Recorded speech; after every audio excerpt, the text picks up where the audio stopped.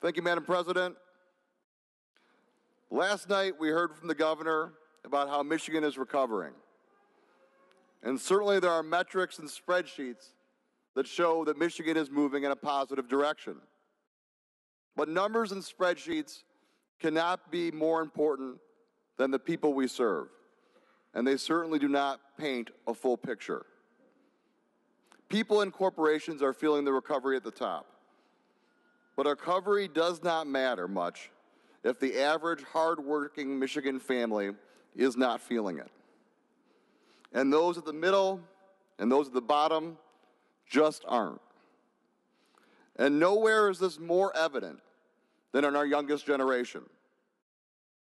This generation is the slowest to buy a car, buy a house, or start a family. But that makes sense when you look at the numbers.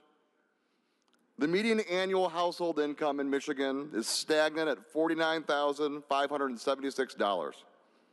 The average student in Michigan graduates with $30,000 in debt. The average cost of childcare is $9,882, and that's just for one child. Colleagues, we can't move Michigan forward if we leave this generation behind.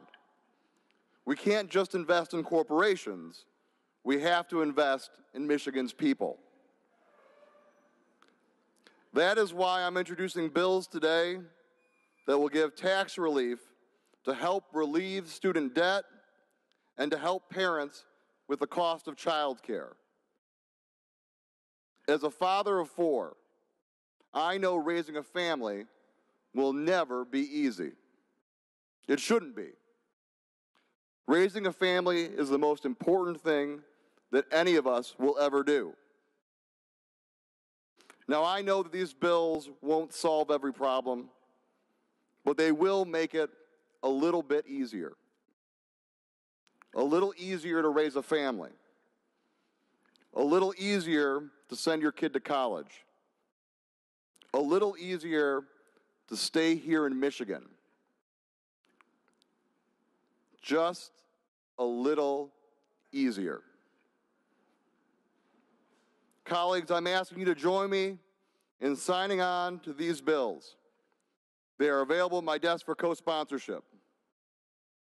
That would make it just a little easier for Michigan's families.